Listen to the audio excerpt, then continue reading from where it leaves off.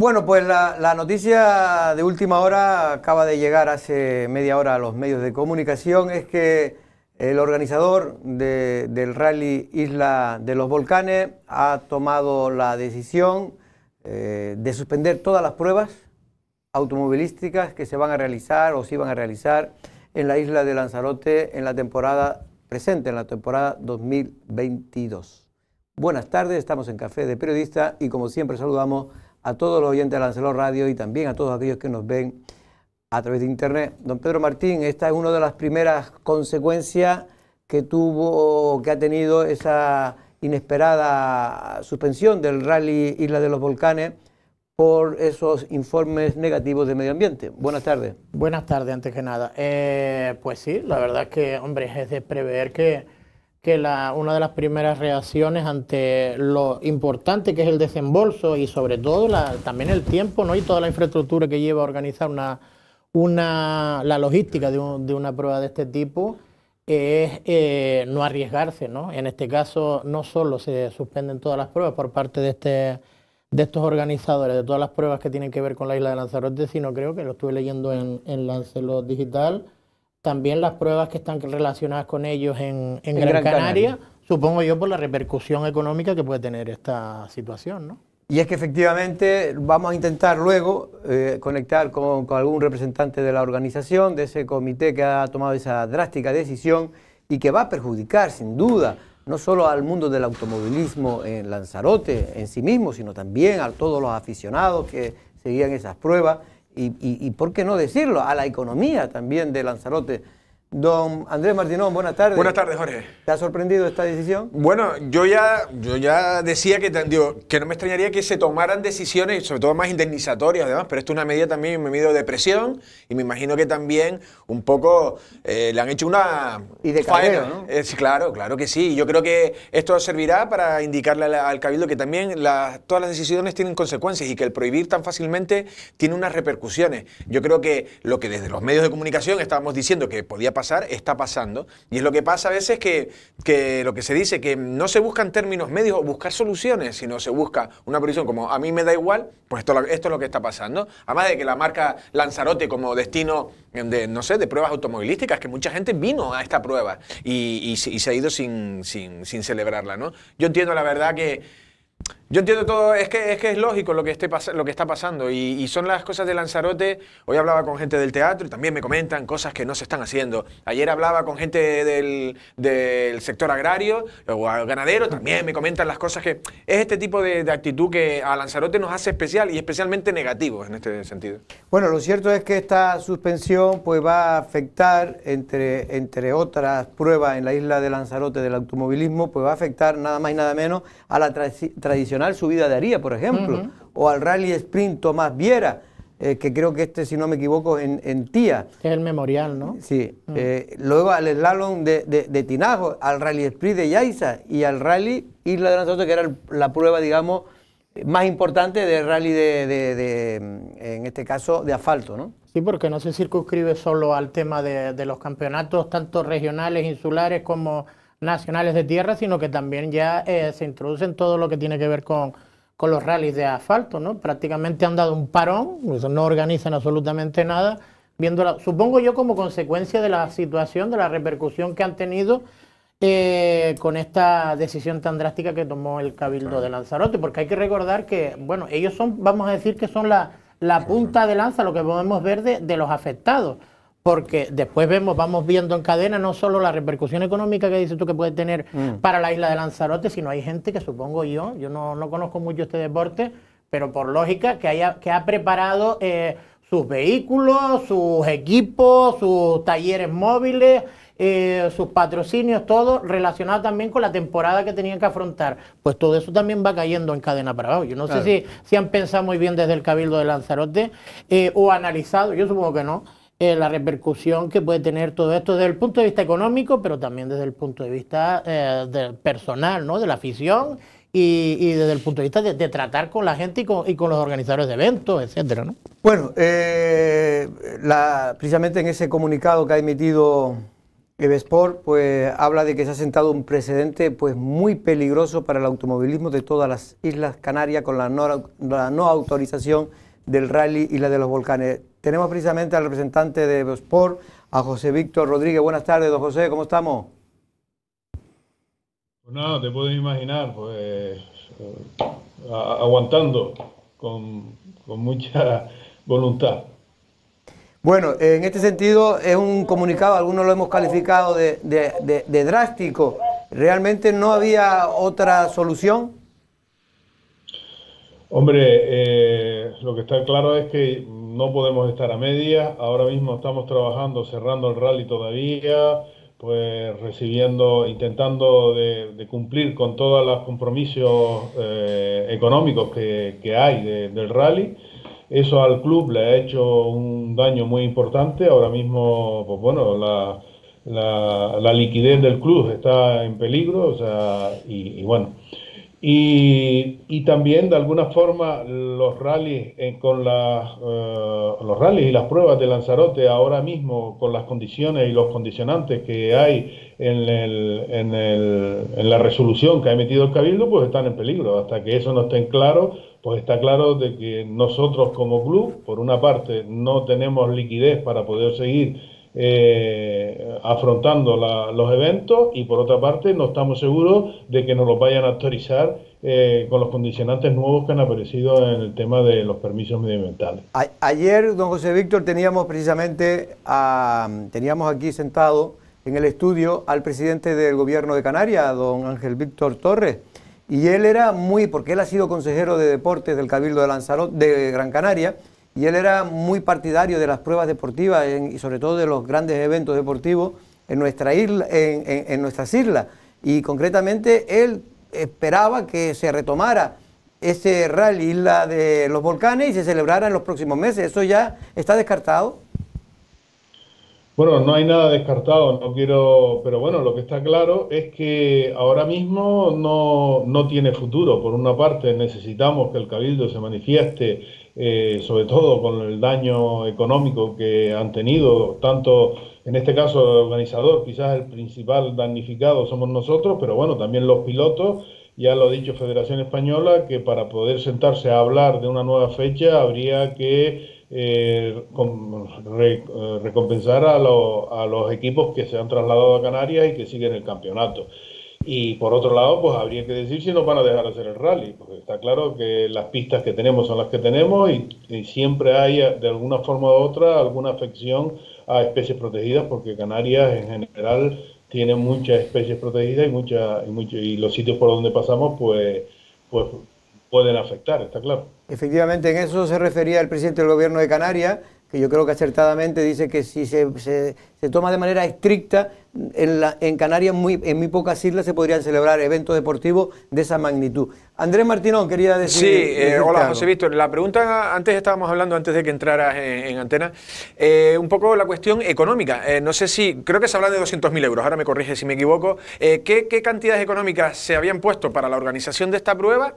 entiendo, no sé si qué cantidades habían puesto ustedes o quién ha puesto el dinero y, y qué, no sé si se van a reclamar unas indemnizaciones económicas al Cabildo de Lanzarote o alguien.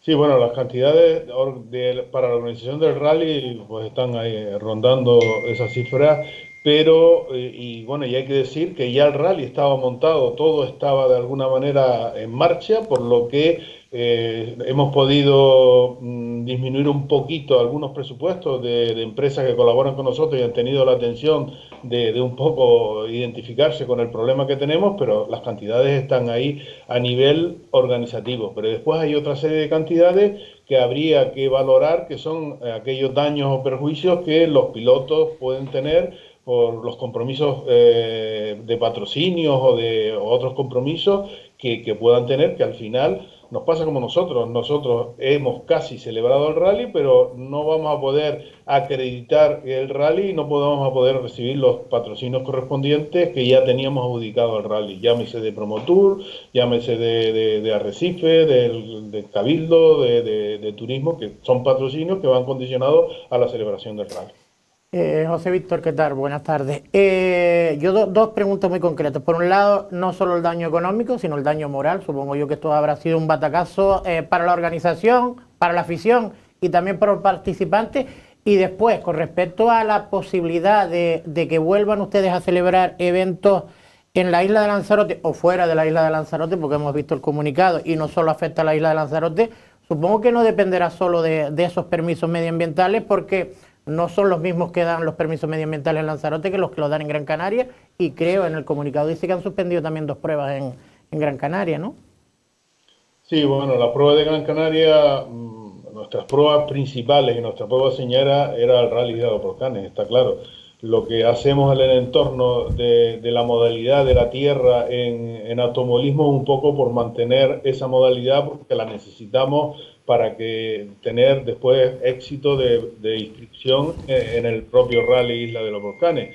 Entonces, todo va unido de alguna manera, pero está claro que ahora mismo las pruebas, hay algunas pruebas que son deficitarias y el club no puede hacerse cargo de esas pruebas deficitarias que estén en Gran Canaria o estén en Lanzarote, está claro.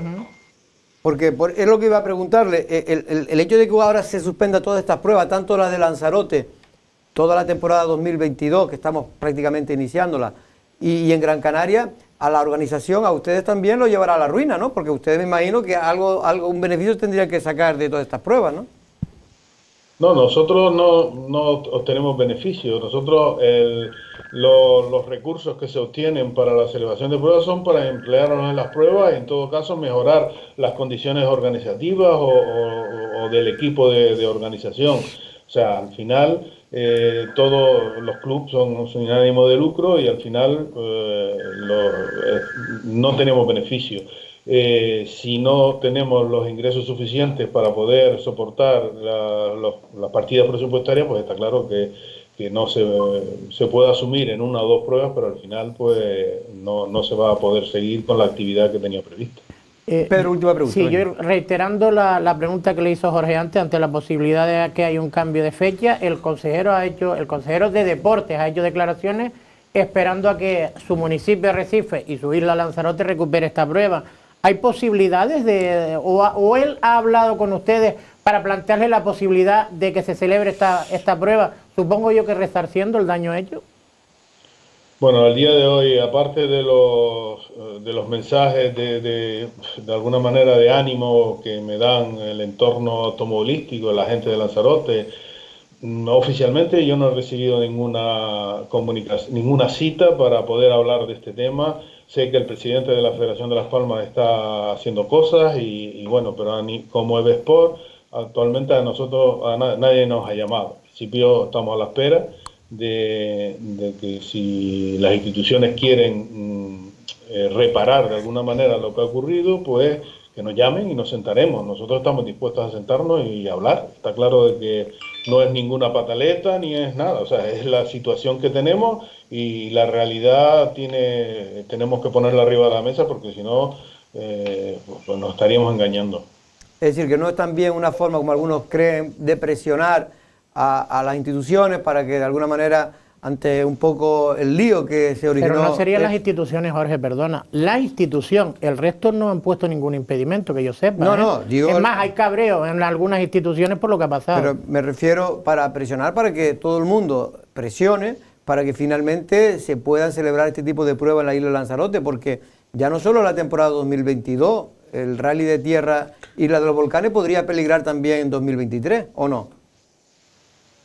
Pues sí, está claro de que la actividad de momento, sí, tenemos los dos problemas. Por una parte, el problema presupuestario, que será más fácil de solucionar, pero por otra parte, el problema que nos dejen eh, o sea, realizar las pruebas. O sea, pues si tenemos el mismo condicionante medioambiental, pues está claro de que, de que con eso no, no podemos hacer pruebas.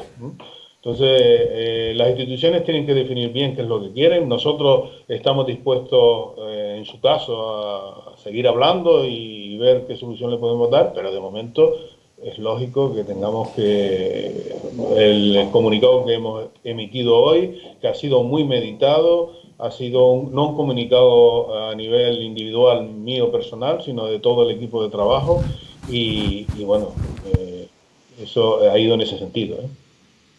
Pues don José Víctor Rodríguez, vamos a ver si tenemos suerte y se pueden seguir celebrando estas pruebas automovilísticas en Canarias, eh, sobre todo en las islas de Gran Canaria y, Lanzarote.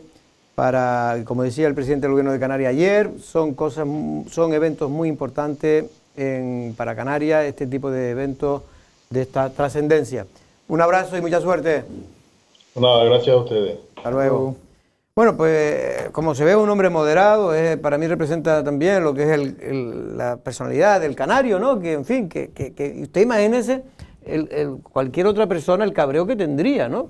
Que, se dice fácil, ¿eh? Pero es que este rally se viene celebrando desde hace 23 años y, se le ponen los problemas en el último momento. Se le da incluso prácticamente, porque lo sabemos, que dos días antes de, la suspensión oficial o de la no autorización oficial, se le daba esperanza de que se podía celebrar a pesar de todos los problemas. Ayer el presidente del gobierno de Canarias hablaba aquí de que, era, eh, de que el, informe en que la Consejería de Medio Ambiente del Cabildo de Lanzarote se basaba en un informe a su vez que solicitó, porque quiso solicitarlo al gobierno de Canarias, porque si no, no tenía por qué preceptivo, pero no es vinculante. Sí, pero que ni siquiera era... No, no, otra vez ni se ha pedido e, ese informe. Se solicitó porque quiso pedirse. Es, decir, aquí hay una cosa clara, más allá, que insisto, que si se quiere analizar, y me parece un debate interesante de que se deba o no hacer, hacer o no hacer este tipo de pruebas en Lanzarote, es un debate que se puede hacer y está...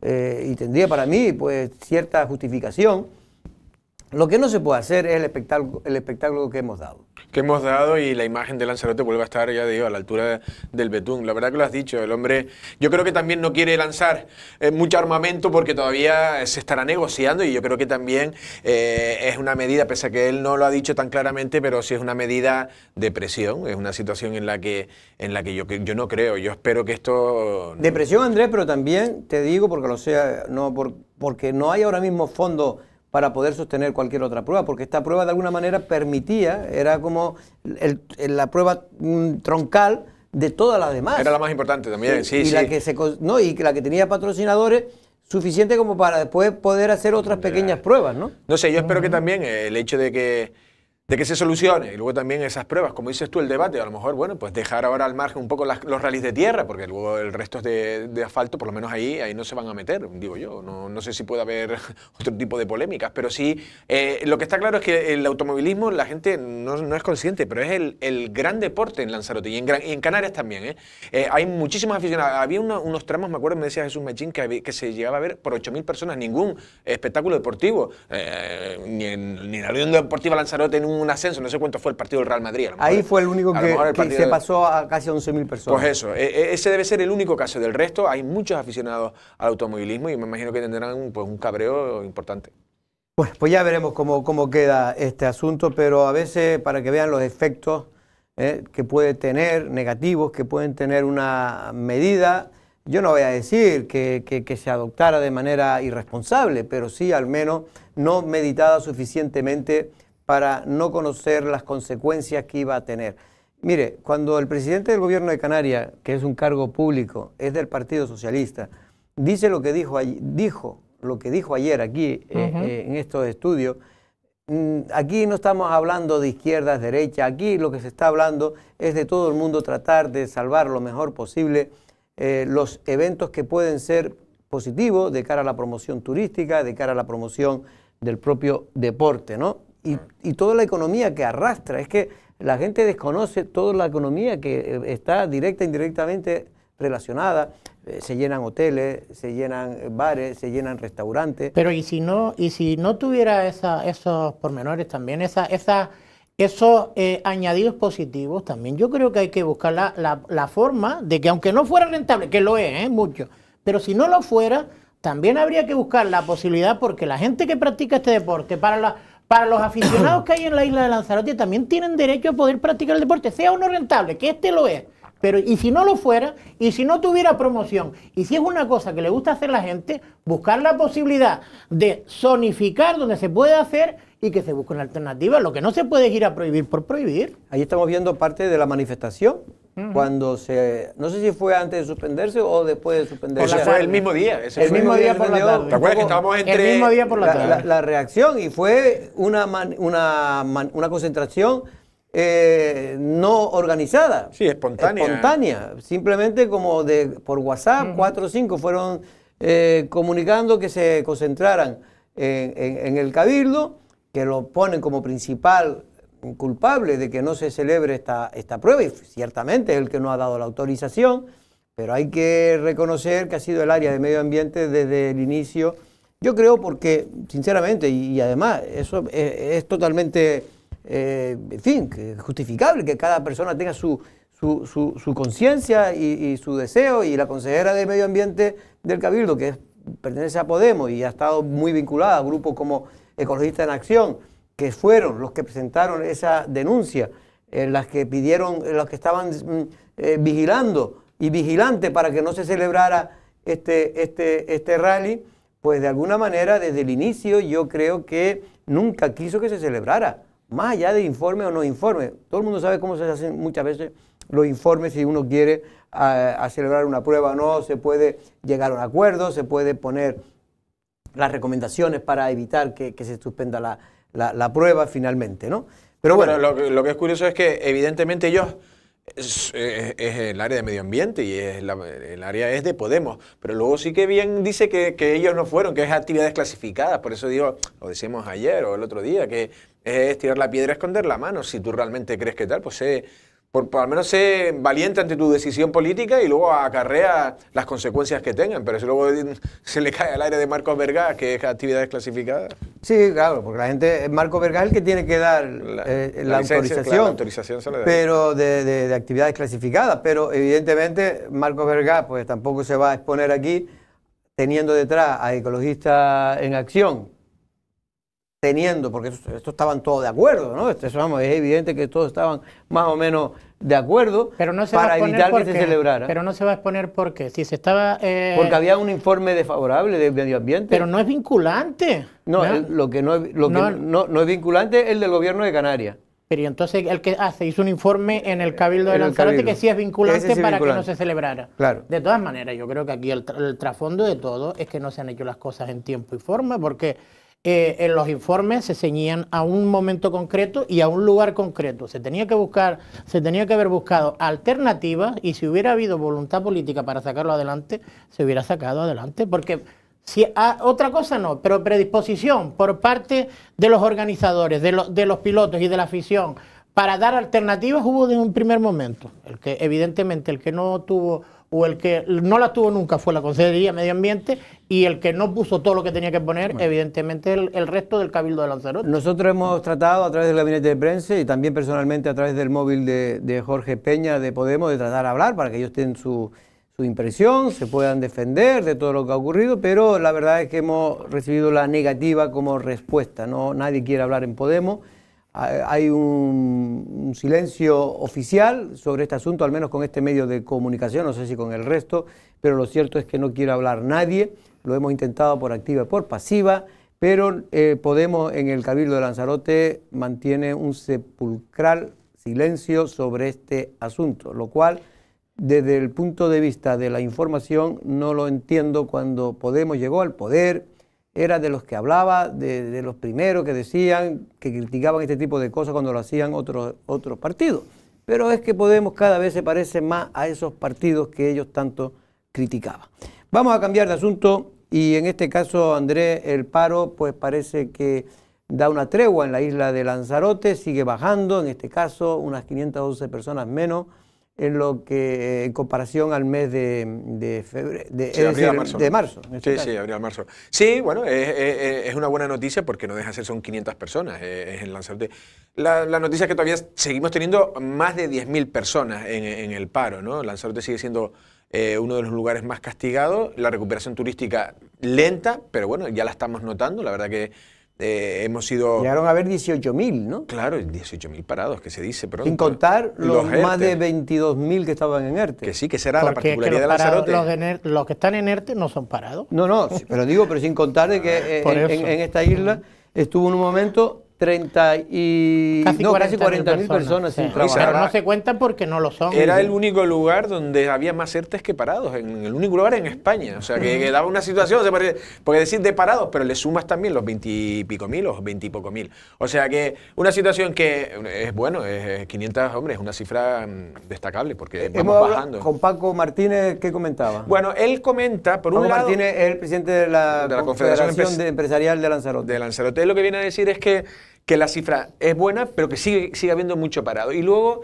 él está dubitativo sobre las repercusiones que pueda tener la reforma laboral. Esa, él cree que determinados empresarios, incluso eh, off the record me decía que incluso algunos le habían hablado de un número exacto de cuánta gente no habían contratado por el hecho de que sabes que si contratas tienes un carácter eh, indefinido, les vas a tener unos costes y demás. Él mm, tampoco lo, lo- certificaba, ¿no? pero sí dice que puede tener dudas en que en, que en un corto plazo cree que eh, cuando se pase mayo y junio, lógicamente llegará una campaña de verano, turística, mm, vendrá más gente, supuestamente se ampliará la contratación, pero él tiene esa duda con lo de la reforma laboral.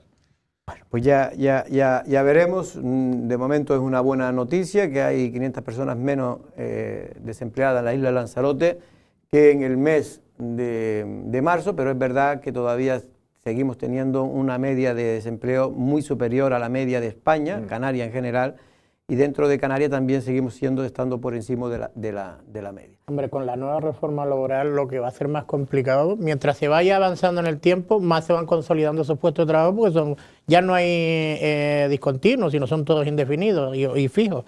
Así que eh, evidentemente costará más eh, destruir empleo, ¿no? Es la único... Así, el dato más positivo. mientras las cosas vayan bien. Cuando vayan mal, no va a quedar más remedio que encarecer el despido, pero no va a quedar medio que echarlo al, al- al paro.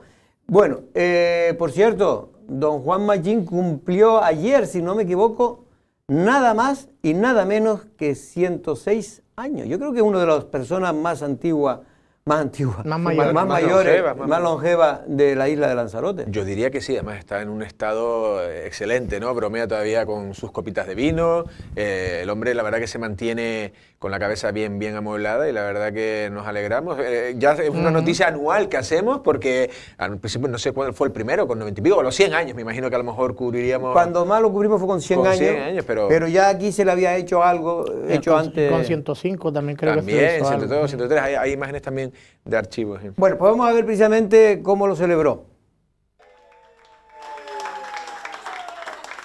Ahora tiene que soplarlas a volver adelante. Siga, siga. Ya, F, le quedan dos más. Rodeado de nietos y con energía aún para apagar las velas, Juan Machín llegó a los 106 años y nos explica a cámara cuál ha sido su secreto. que no ha hecho nada para, de momento no ha hecho nada para artificial para llegar a, a esa edad. Pues yo, como, yo como todo todavía. ¿Y vino? ¿Algún vasito de vino? Hombre, dumo. Cuando se levanta, lo primero que hace es activarse. Cuando me levanto, empiezo a, a tirar los huevos, los brazos, y a hacer movimientos con, con el cuerpo, porque me gusta hacerlo para, para estar el cuerpo calientito. Tiene claro que a los políticos no hay que tomarlos muy en serio y agradece los cuidados de una de sus hijas, María Dolores. La política no hay que hacerle caso. Pero cada uno rima la brasa para usarse. Pues, me tiene mimoso. Esta nos comenta que es un fiel seguidor de Lancelot Televisión, de la actualidad y cuáles son sus platos favoritos. Estoy disfrutando, es un padre fantástico y me obedece en todo, todo lo que yo le digo él lo hace y me da mucha compañía y de verdad que estoy encantada de la vida. Sí, sí, yo la siento ahí en el sillón, ya desde, que son las dos ya pongo el Lancelot porque ya lo veo todos los días. Se sale la- cuando salen todos los alcaldes, te dice los nombres de los alcaldes, te lee las letras de que salen en la televisión, él se te queda con toda la movida. Su potaje, le doy cremas de verdura, le hago pasta, eh, le hago sus natillas, o sea, de todo. Él te come de todo. Como un quinceañero, así se siente y así de elegante, con su sombrero y su corbata, nos emplazó para volver a visitarle el año que viene. Felicidades, don Juan. Pues, pues muchas felicidades a don Juan, a su, a su en este caso su hija, a, a- María. a María. y que realmente de verdad que Dios conserve esa salud de hierro que tiene y demuestra, y es humor, ¿no? Porque también lo más difícil cuando uno se hace mayor es mantener sobre todo el humor, ¿no? Yo siempre digo que la gente se le acaba la mecha cuando a medida que va cobrando o va, va teniendo más, más, más edad. En fin, Andrés, a No, ver si usted llega a esa edad. Ojalá, ojalá. Imagine en ese, en ese estado, ¿no? Estaba viendo la entrevista que le realizábamos y me acuerdo que él decía, para que vea la, la dureza de, de- de la juventud, de, de- de esta generación, ¿no? Él salía de eso y si tenía que trabajar en algo de construcción en Playa Blanca, iban caminando, iban caminando, tardaban lo que tardaban, pero era, eh, o sea, estamos hablando de que cuando vemos tanta tontería a veces de, de- de- no iba a decir los jóvenes, de nuestra época también, y de los míos, o de yo mismo, y, y ves a la gente lo que trabajó, cómo, cómo comió, lo que vivió, y, y la verdad que... Hombre, es verdad que antes no nos quejábamos de nada y sufríamos de todo, me refiero a esas, a esas generaciones, y ahora, pues, por desgracia nos quejamos de todo, y hay que quejarse, porque hay que quejarse de cosas, pero a veces nos pasamos un poco, ¿no, Pedro? No lo sé, yo es que no tengo la, la de, de don Juan. Por cierto, el, el afiliado mayor, yo no sé si será el mayor de toda España, ¿no? Pero el afiliado del Partido Popular, más lo, casi más longevo. De aquí de Lanzarote seguro que es el más longevo. Y no sé si será el de Canarias, casi seguro, y de España. Del Partido pues, Popular. Habrá muy poco del Partido Popular. Veíamos algún gallego por ahí. Sí, a lo mejor, ¿no? Eh, No, pero, es bueno. difícil. ¿Cuántas personas hay de 106 años? Y además Y que... sobre todo lo que es difícil es que, eh, que, que tengan esa edad y él, que se mantenga con, que esa cordura. No, y lo que eh, lo- eh, Doña Asunción también, que cumplía años y la También. estábamos siguiendo, y ya cuando uno pasa la barrera de los 100, ya eh, pasar un año es complicado, y la verdad que casi casi mantiene un aspecto y físicamente igual que los últimos años que lo hemos venido entrevistando. Pues nada, pues muchas felicidades a don Juan y a su. No, a y su- tiene y más mérito, perdón, eh, superar esa barrera con todo lo que sufrimos aquí en la isla de Lanzarote. Como él decía, a lo mejor el secreto es eso, no atender mucho a los A políticos. los políticos. Bueno, vamos dos minutos a publicidad y vamos a hablar ahora con la consejera del Cabildo de Lanzarote, Ariabona González, que también es parlamentaria por el Partido Socialista.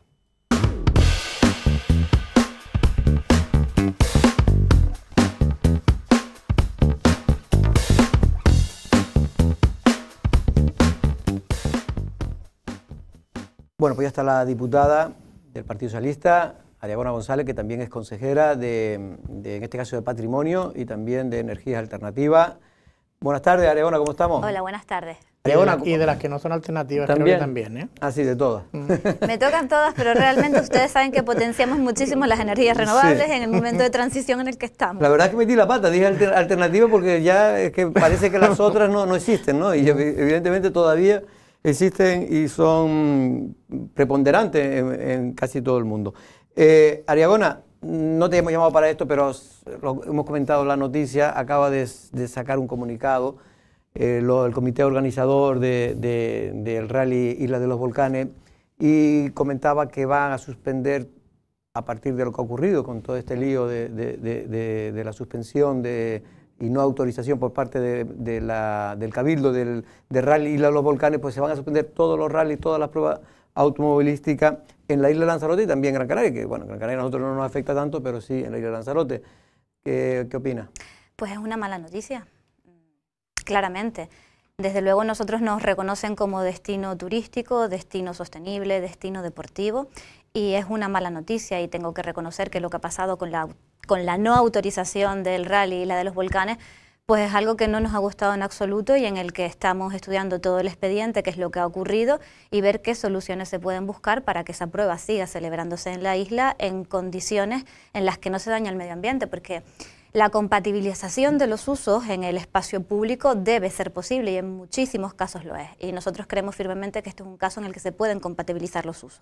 Eh, hay que decirlo claramente, para mí, por lo que yo sé y por lo que he visto y con lo que he hablado con los consejeros de uno y otro lado, es evidente que la posición del Partido Socialista dentro del grupo de gobierno era partidaria de celebrar ese rally, buscándolo, evidentemente, encajarlo todo lo que pueda dentro de la legalidad. Sí, desde luego que sí. A, a mí lo que más me preocupa, a mí y a mi grupo político, es eh, cómo se llegó a esta situación. Es decir, por qué no se sabía antes. O sea, donde si la fecha para celebrarlo en abril coincide con el en mayo, perdón, coincide con el periodo de nidificación de aves, pues no podrá ser en mayo, pero podrá ser en agosto, podrá ser en julio, y esas soluciones y esas opciones habría que haberlas hablado con tiempo para no llegar a la situación de tener que suspender un rally un día antes de la prueba con todos los equipos aquí. Por supuesto que es una mala noticia.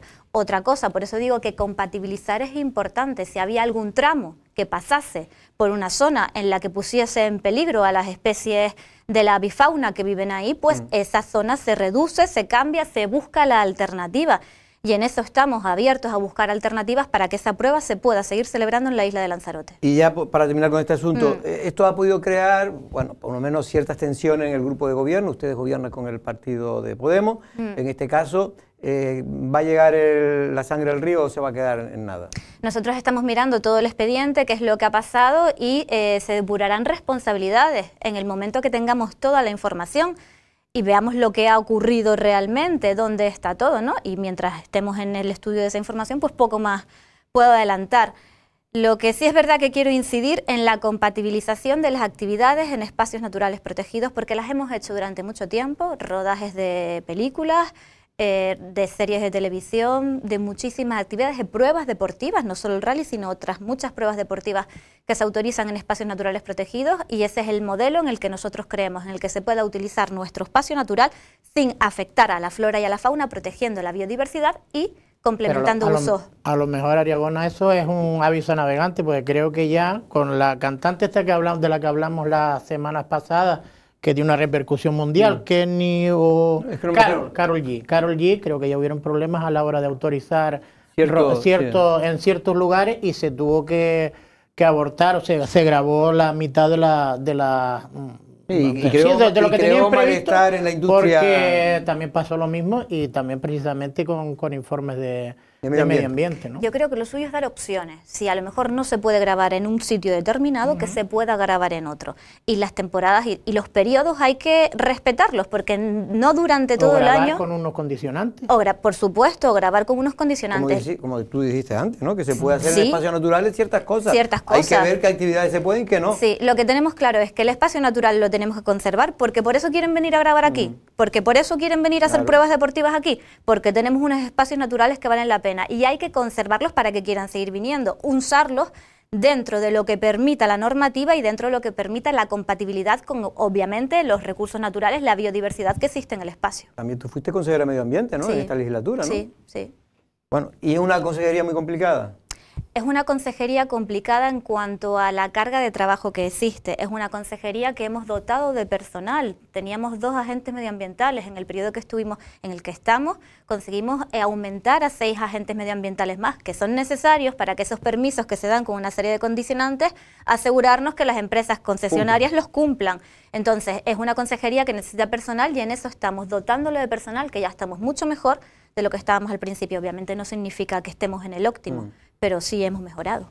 Oye, por cierto, yo de la última pregunta que le hiciste con respecto a la convivencia con Podemos, y como estoy viendo los móviles, ¿Qué tal esta convivencia también en el Congreso de los Diputados? ¿Te están haciendo los controles? De... Pues están haciendo controles a todos los teléfonos de todos los miembros del Gobierno porque la verdad es que es eh, preocupante enterarse de que están espiando al presidente del gobierno, a la ministra de Defensa, igual que también a todos los eh, políticos, en este caso independentistas, que han espiado. Entonces, ahí hay que buscar, y eso es lo que ha hecho el gobierno, ponerlo en conocimiento de la abogacía del Estado para que se investigue judicialmente qué es lo que ha pasado.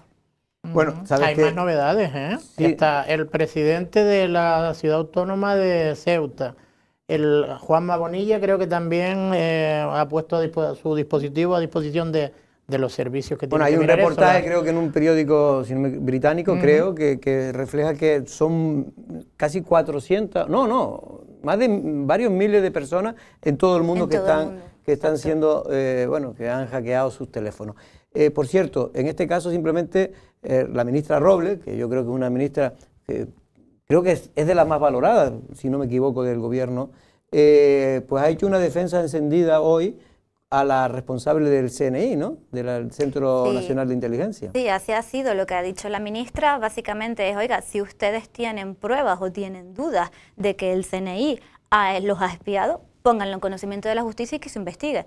¿Qué es lo que tenemos que hacer todos? ¿Qué es lo que ha hecho el gobierno de España? Oye, nos están investigando en conocimiento de la justicia y que se investigue quién lo está haciendo y que se esclarezcan los hechos, porque eso nos da una inseguridad a todos impresionante. Pero, eh, ¿qué es lo que está pasando aquí? No solo en España, sino como bien comentabas, en el resto de países Mm. de nuestro entorno. Están espiando, parece ser que están espiando a muchísimos responsables políticos, presidentes de otros de otros países de la Unión Europea. Entonces, esto es una cuestión bastante seria que hay que ponerla en conocimiento de los cauces adecuados para que se busque qué es lo que está pasando. Bueno, a, a toda la ministra, a Merkel creo que también fue en su día, también se, se habló de que estaba hackeado su teléfono, su teléfono móvil. Bueno, Leona, vamos con tema de, de- de- de Lanzarote, que es para la que te hemos llamado como, como responsable de patrimonio. Es verdad que cuando te llamábamos pues, fue hace ya dos semanas y ahora parece que ya no es noticia, pero fue por la noticia de la, de la, en este caso de la paralización de dos obras eh, de demolición en, el- en la zona del Charco San Ginés, una concretamente en el propio Charco, que el otro día fui a verla porque no sabía exactamente cuál era, ya, ya sé, es una cosa muy pequeña, la verdad, y otra en, en la calle Garci- eh, Jacinto. Borges. Eh, realmente eh, la gente lo que ha criticado un poco es sobre todo la de Jacinto Borges, porque no sé, pues, bueno, menos que tú la habrás visto esa casa, pues prácticamente quedan las cuatro paredes nada más, ¿no? Sí, pero vamos a ver una cosa. O sea, nosotros, el- esa licencia de Jacinto Borges es del año 2019. Mm. Una licencia que concede Eva de Anta siendo alcaldesa Sí, porque va a la mayo, junta, sí. porque va a la junta de gobierno de, de Arrecife. Pero esa licencia llega ahí, perdón, esos informes llegan ahí sin tener en cuenta la información que le remitió en el año 2017 el Servicio de Patrimonio del Ayuntamiento de Arrecife, diciéndole que había toda una serie de edificios con valores patrimoniales entre el que estaba ese. Entonces, eh, Seguro que llegaba hasta ahí, porque creo que no llegaba. Hay informe del, cabil- del ayuntamiento que dice que no, no- que no está claro que llegara hasta, hasta esa casa, que es casi ya la de las últimas que hay. La- las, medidas, 81, las ¿no? medidas cautelares, sí, esa está en el 81, pero las medidas cautelares se adoptan porque se puso en conocimiento de Arrecife que esa vivienda tenía valores patrimoniales. Se les hacen el, se les informa en el año 2017, se les informa en el año 2020, en el año 2021 y en el año 2022. De lo mismo, porque la relación de inmuebles con valores patrimoniales no ha cambiado. Entonces, nosotros lo que decidimos ya es poner directamente en conocimiento de la alcaldesa de Arrecife la serie de inmuebles que tienen valores patrimoniales para que ella lo tenga en cuenta cuando otorgue licencias, porque aquí estamos dejando al ciudadano a los pies de los caballos. El ciudadano está viéndose afectado por unas circunstancias que a lo mejor no conoce porque las administraciones no se lo han explicado. Y ahí es donde yo creo que tenemos el problema. Pero o no sea, se le puede dar la licencia de demolición, es lo que tú dices porque está afectado. porque hay informes del Cabildo. Vamos a ver, aquí tienen que pasar dos cosas. Si el Cabildo informa de que eso tiene valores patrimoniales, lo que tiene que hacer el ayuntamiento es decirle, oiga usted, me han pedido una licencia de, de demolición aquí, emita informe patrimonio, que patrimonio emita el informe y que diga, sí, no, de esta forma, de la otra manera, igual que el Hotel Oriental, o sea, se les, igual que la librería Lazo, igual que la casa que se rehabilita en la Plaza de las Palmas. Pero si al Cabildo no le dicen, el Ayuntamiento de Arrecife no le dice, oiga usted, infórmeme de esto, el Cabildo no puede informar. Lo que hace es adelantarse e ir informando al Ayuntamiento en el año 2017, en el año 2020, en el año 2021 y en el año 2022 de la lista de inmuebles que hay. A la luz del informe que haga patrimonio, el Ayuntamiento de Arrecife podrá autorizar de esta forma o de la otra, o no podrá autorizar. Pero lo que pasa es que hay que saber que estamos hablando de inmuebles patrimoniales y que en ese caso la, la opinión y los informes de patrimonio son necesarios. Más allá de los informes, ¿usted conoce la casa? O lo que era una. Sí, antigua casa. sí. ¿Usted cree que ahí hay algo que recuperar? Es que, Sinceramente. sabe, es que sabe lo que pasa, que es que ya no- mi opinión no vale. No vale en el sentido de que si yo tengo un informe sobre la mesa que eso me dice que tiene valores patrimoniales, yo no tengo conocimiento en historia, en arqueología, no tengo conocimiento en muchísimas disciplinas, pero tengo gente que los tiene y ellos me informan de algo y mi competencia y mi obligación legal es tomar la medida que, to- que tomé. Eh, a mí me gustaría saber cuánto, cu- si, cuánto- en, en qué consiste, eh, no hay catálogo, está caducado, pero si siguen vigentes, ¿no? Los no, que 19. catálogo- catálogos existe. Está el, el 2004 de Arrecife es el Bueno, catálogo que está tienen vigente, obsoleto. que solo tiene 19 viviendas. 19, y siguen habiendo Sí. 19, Sí. ¿no? Eh, y creo que el otro día le comunicaba la intención o instabas al ayuntamiento a que a que amplíe ese catálogo. Hmm. Y después, a ver, ¿qué contestación? Me gustaría saber si te han contestado y sobre todo si no puede hacer algo el cabildo de motu propio, si el ayuntamiento no lo hace, y después lo de la comparación que en el Hotel Oriental. El Hotel Oriental no, no es comparable, ¿no? Porque mm, No, al, incoar eh, eh, bien de interés cultural ya no, ya no tiene la misma, la mi- el, el mismo grado de Protección. de protección, ¿no? Exactamente. Eh, ¿Y cuál es la posibilidad que hay después de ver también ese, ese informe, al que acusabas también al Ayuntamiento de Recife de haberlo filtrado con respecto a, a GESPLAN, ¿no? Creo que Sí, ahora, que ah, lo- tres preguntas. sí, más o menos. Mm, Tres preguntas. Bueno, pa- para empezar, vamos sí. a empezar si quiere por si son- tiene el mismo grado de protección ahora. No, no tienen el mismo grado de protección, obviamente. O sea, el, el Hotel Oriental tiene unos valores patrimoniales sobresalientes en relación a la vivienda que está en la calle Jacinto Borges. Por eso nosotros, por eso el Hotel Oriental hemos iniciado una incoación de VIC, que es, ahora volvemos al informe que le pide el Ayuntamiento de Arrecifes Plan. Vamos a ver, el Gobierno de Canarias pone a disposición de todas las entidades locales del archipiélago GESPLAN como una oficina de asesoramiento jurídico a la administración local, porque muchas administraciones locales están desbordadas. ¿no? Entonces, en el marco de esa colaboración es donde el Ayuntamiento de Arrecife le, pide un informe a GESPLAN. Y el informe de GESPLAN no puede pronunciarse sobre la conveniencia, oportunidad o idoneidad de que eso sea BIC o no, simplemente por una cosa muy sencilla, porque quien suscribe el informe es una jurista. Y una jurista tiene conocimientos, por supuesto, para decir si el procedimiento está bien incoado o no lo está, o el procedimiento se está haciendo acorde a la ley o no. Por supuestísimo que sí, pero un jurista no tiene conocimiento para decir si eso tiene un valor patrimonial o no. Igual que el arqueólogo o historiador no tiene conocimiento jurídico para saber si eso lo está haciendo bien o no. Pues Es si que- no lo es que tiene, lo disimuló bien, ¿eh? esto- Porque creo que sí entró en esos valores patrimoniales, ¿no? No, en lo que entró. El informe, Más sí. bien, el informe lo el lo que viene el informe entrar- entró en los valores El- patrimoniales. el informe, El sí. informe valor, y una de las cosas que dice el informe, porque vamos a ver, en este procedimiento hay tres pasos, la incoación, la tramitación y la resolución. Nosotros hemos hecho la incoación y ahora estamos en la tramitación. Y la ley de patrimonio de Canarias nos dice que tenemos que pedir informes a organismos que están contemplados en la ley. El Museo Canario, los museos, de, los museos insulares, las universidades canarias. Y ahora nosotros haremos eso. Pediremos esos informes, los incorporaremos al expediente. Cuando la tramitación está acabada, se lo enviaremos al Gobierno de Canarias. ¿Quién será, que, quién será quien decida si eso es VIC o no lo es? Porque lo que es importante aquí que es que esa declaración de VIC no depende de solamente un informe de un técnico del Cabildo, sino que tendrá que estar avalado por todos estos informes que van detrás, que son personas y entidades especialistas en la materia, que no soy yo ni somos los que estamos en esta mesa, porque nuestro conocimiento sobre valores patrimoniales es el de una persona normal, un ciudadano a pie. Pero no sabemos si la ventana tiene una moldura de tal tipo, si la puerta es del... No, nosotros, yo lo, desde lo- luego que no lo nosotros sé. lo único que podemos tener es sentido común y uno entender que esto tiene más, más valores que, en fin, uno ve el castillo de San José y sabe que no hace falta ser muy ducho pa- en patrimonio para saber que eso es un, un bien a conservar, ¿no? Ahora, uno ve la casa esa que se está cayendo en el charco de San Ginés, que simplemente quedan pues cuatro muros, pues Hombre, evidentemente si fuéramos a tendrá hablar mucho... solo de lo que somos expertos, no hablamos de nada. Yo por lo menos no he hablado de nada. no, por eso digo que más allá de que tú como, como, como responsable, tú tendrás que, que me imagino, que, que- que atenerte a lo que te digan los, los- técnicos, ¿no? Pero sí es verdad que todo el mundo pues tenemos nuestra opinión, pues, pues, pues en este caso de neófito, pero, pero, pero que sabemos eh, aplicar nuestro sentido común a las cosas, ¿no? No, pero yo lo que quería preguntarte es que el propio, la- y si no corrígeme, pero entendí que en ese informe lo que venía a, a decir es que muchas veces se desprestigia la figura de- de- de- del BIC por, por- por muchas veces por el ánimo no de fastidiar, sino que yo no creo que ni siquiera sea de fastidiar, sino por un ánimo que tiene muchos técnicos de querer proteger todo por protegerlo, ¿no? Y entonces decía que a lo mejor hay otros valores patrimoniales o otras categorías patrimoniales que son aplicables y no la del BIC. Sí, eso también dice el informe, pero quien podrá evaluar esos van a ser los informes que llegarán paulatinamente con todos estos organismos a los que tenemos que consultar y esos informes son los que dirán si ese edificio reúne condiciones para ser BIC o no lo reúne. Es así, o sea, tenemos que esperar a los informes que van a seguir llegando en el procedimiento, de los que tendremos conocimiento y seguiremos debatiendo este tema. Pero lo importante aquí, para mí, es, independientemente de si es BIC o no es BIC, que se permitan hacer cosas que conserve el edificio. Y eso se permite hacer.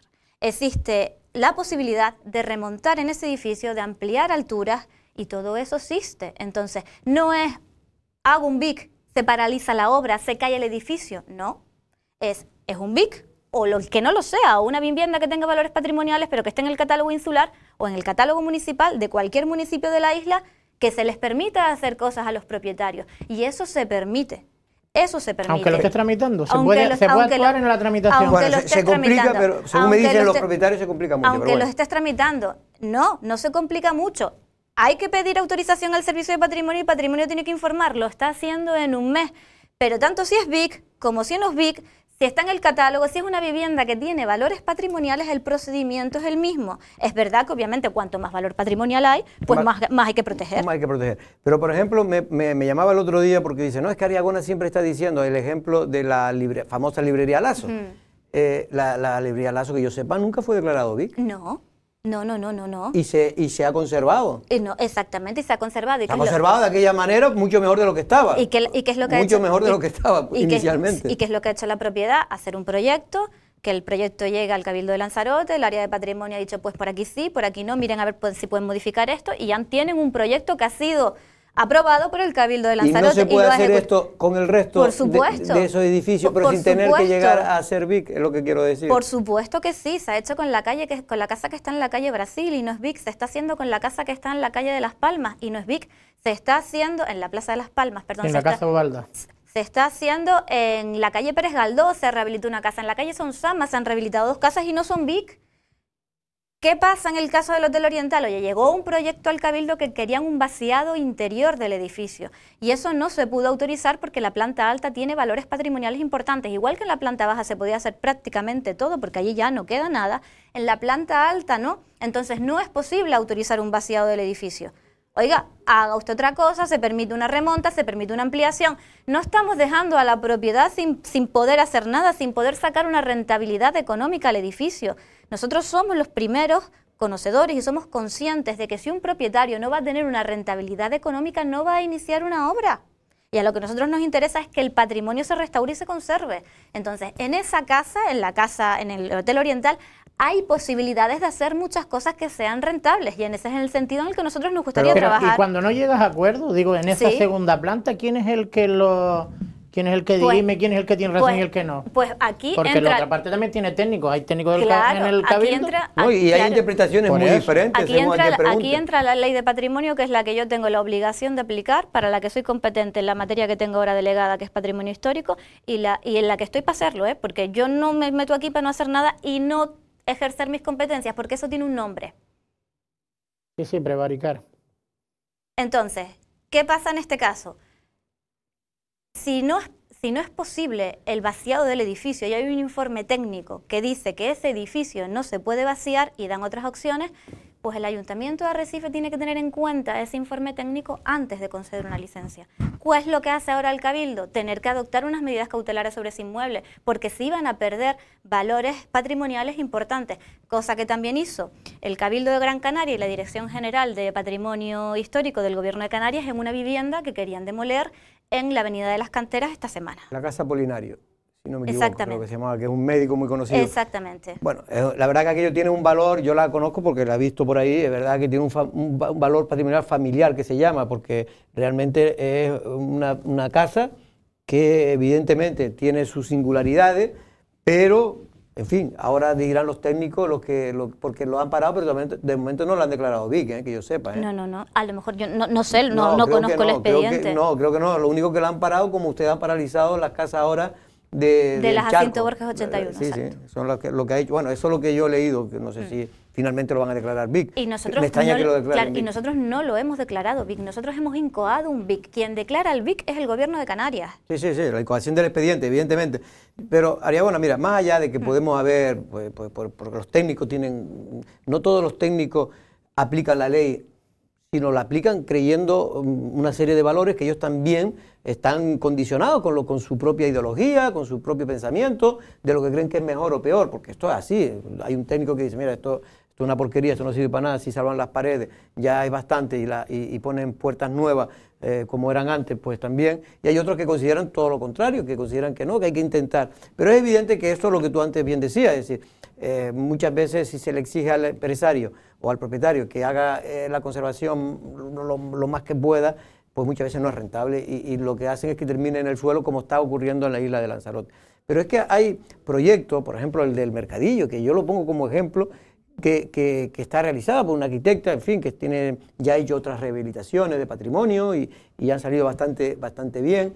Y la verdad que lo que yo conozco del proyecto que me ha podido explicar la arquitecta y, y lo que yo he visto en fotos y tal, realmente eh, eh, es una restauración que, vamos, difícilmente eh, cuestionable, porque mejora todavía mucho más lo que hay y recobra el, el auténtico mercadillo. Es verdad que después hay un remonte por la parte trasera del edificio, que me imagino que es para, para que las pérdidas sean lo menos posible, ¿no? Me imagino que, que ha hecho el propietario. Lo que digo es, este tipo de cosas ustedes, no, porque sé que la laguna y en, y en que, si hay como, hay como una especie de, de tendencia al diálogo, a, a intentar mm, tener mm, políticas proactivas con el propio eh, propietario, vamos a hacerlo, vamos a intentarle ayuda. ¿No crees que de alguna manera hemos fallado? Y no digo, ah, tú, tú, tú llevas muy poco tiempo en la Consejería de Patrimonio, pero en general no hemos fallado en la política de patrimonio de, de, de, de- de Lanzarote y de Arrecife en concreto.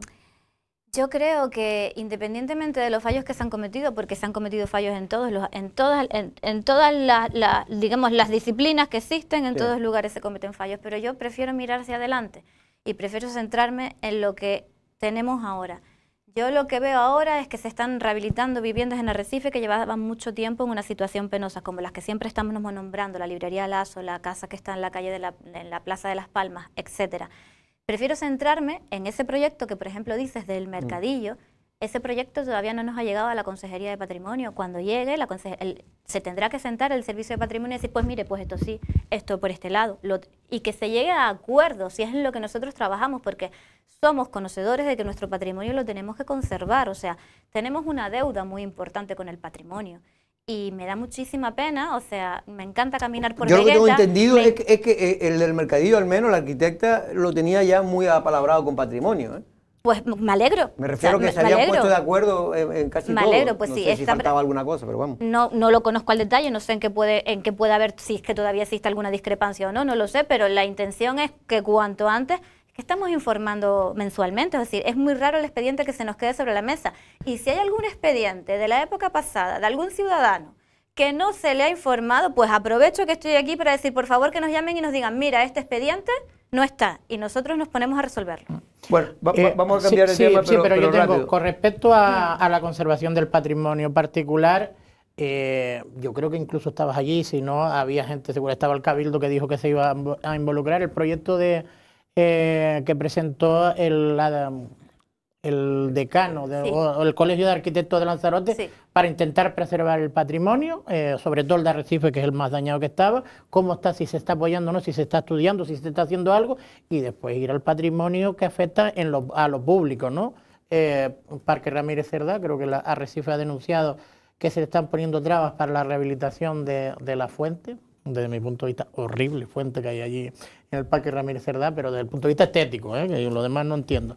Y después la Plaza de las Palmas. La Plaza de las Palmas es que la pobre ya no es estética, es que se está cayendo.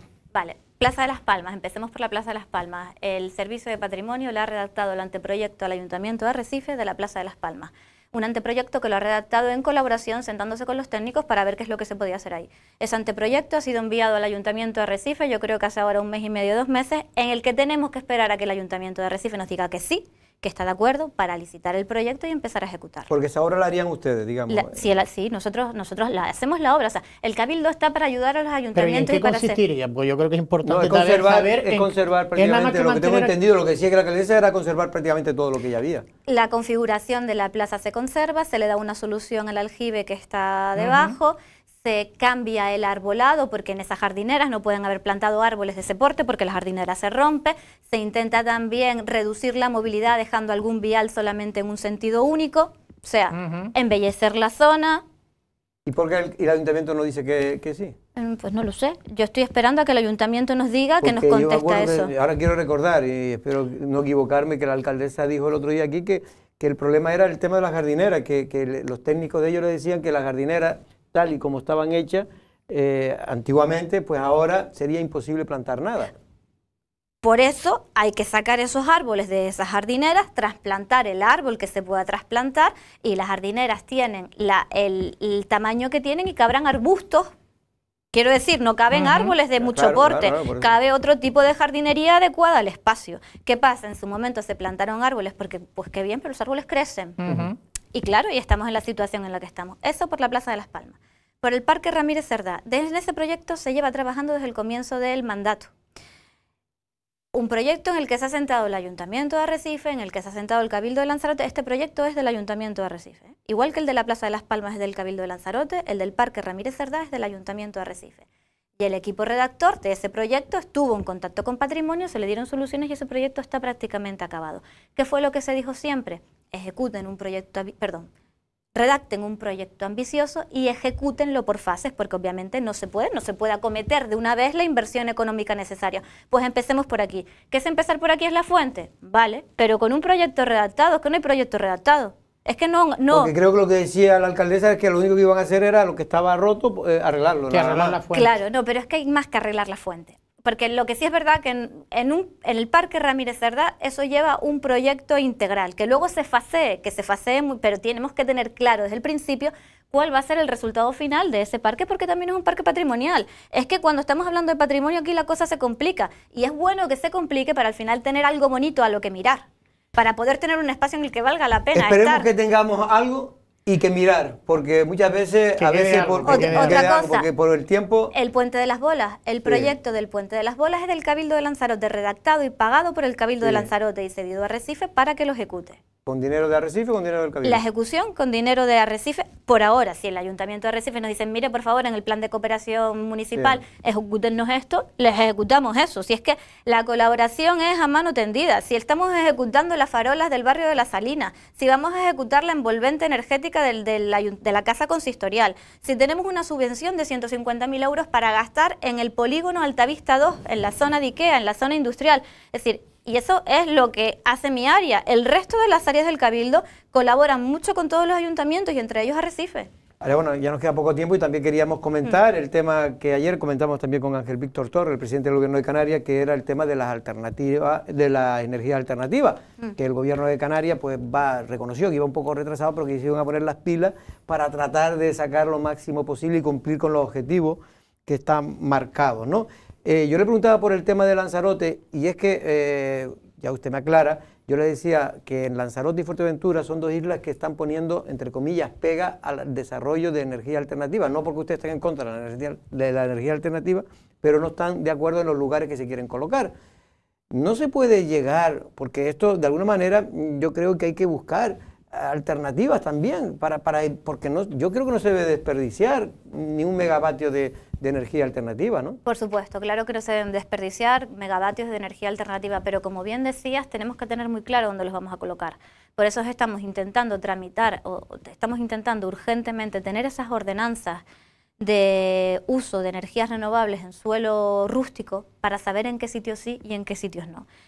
Y ojalá hubiésemos tenido el documento antes, pero la realidad es la que es. Cuando tenemos una pandemia, cuando tengamos una serie de cosas que ha ido ocurriendo a lo largo de esta legislatura, pues vamos eh, como podemos. Pero claro que es importante el despliegue de energías renovables.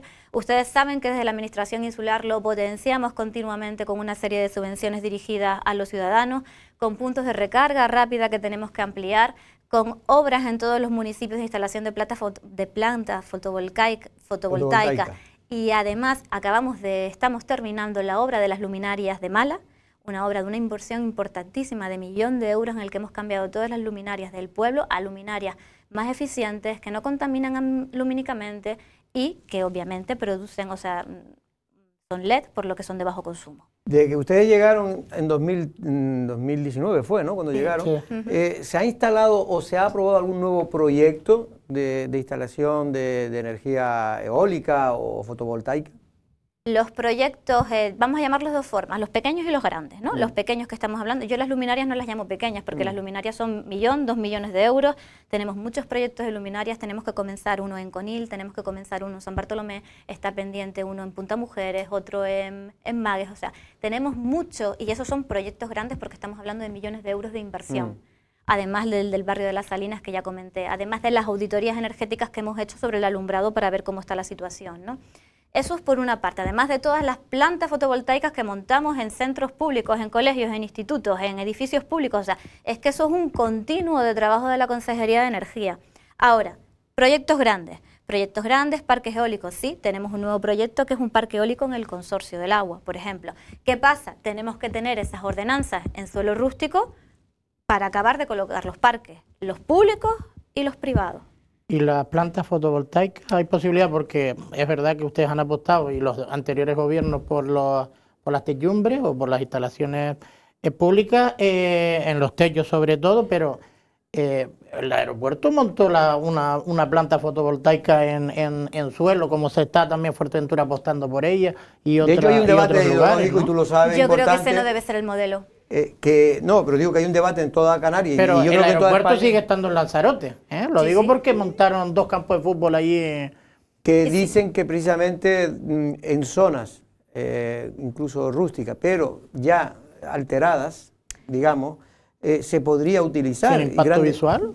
Po- Por eso son las ordenanzas necesarias, porque esas ordenanzas nos dirán en qué zonas de suelo rústico, a lo mejor un suelo rústico degradado que no afecte a la- al paisaje, que no sea visible, cabrá una planta fotovoltaica en suelo. Por eso es importante tener ese instrumento.